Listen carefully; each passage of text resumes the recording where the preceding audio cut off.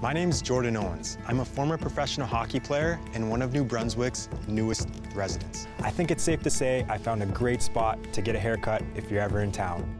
In my latest adventure, I'll be traveling throughout the province of New Brunswick, getting to know the local barbers and learning what they love most about being barbers in small towns. Maggie's been cutting my hair for over 20 years now. Let's just say I've seen it change a few shades.